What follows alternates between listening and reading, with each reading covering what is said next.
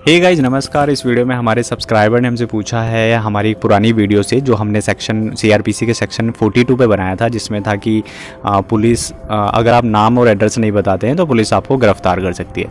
तो इन्होंने अपने तीन सवाल कुछ ऐसा करके भेजे हैं। तो सबसे पहले इन्होंने पूछा है कि, सर, अगर उसने उस स्थान यानी जब उससे नाम पूछा जा रहा था, तब तो उसने नाम बताया नहीं। जब वो थाने में उसे लेकर के गए, थाने में उसने जाके अपना नाम भी बताया, अपना एड्रेस का प्रमाण भी दिया, अपने नाम का आधार कार्ड वगैरह भी दिखाया, तब उसने वो दिखा दिया। तो उस कंडीशन में क्या करेंगे? तो देखिए, उस कंडीशन में क्या करते हैं कि फिर उसकी उससे कुछ प्रतिभू लिए जाते हैं। प्रतिभू यानी उसके गारंटर या आमतौर पर उसे जमान, जमानती भी बोल देते हैं। फिर उसको भरने के बाद उन्हें छोड़ दिया जाता है। अब एक और कंडीशन थी दूसरी, उन्होंने दूसरा सवाल पूछा कि, सर, अगर वो हमारी कंट्री का ना हो तो? यानी किसी दूसरी कंट्री का हो।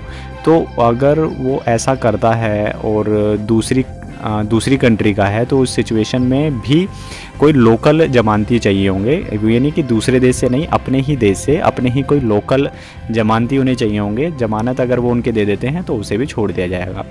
तीसरा है कि सर वो अगर उस टाइम पे भी उसने नहीं बताया, थाने में जाके भी उसने नहीं बताया, उससे पूछ रहे हैं तो भी वो नहीं बता रहा। तो उस सिचुएशन में क्या करेंगे?